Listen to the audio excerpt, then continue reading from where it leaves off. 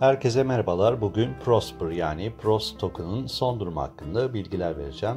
Daha önce PROS token'ın ne olduğu hakkında bir video yapmıştım. Onu da yukarıdaki linkten izleyebilirsiniz. PROS token şu an 1.65 dolar civarında. Son 24 saatte %66'lık bir artış gösterdi.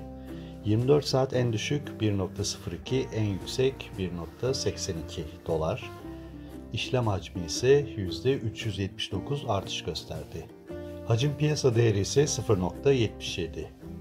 Piyasa sıralamasında ise 1070. sırada.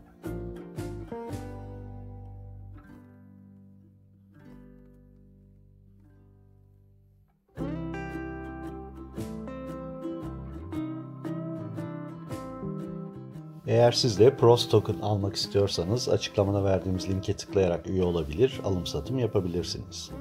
Ayrıca üye olurken %10 komisyon indirimlerinden de faydalanabilirsiniz.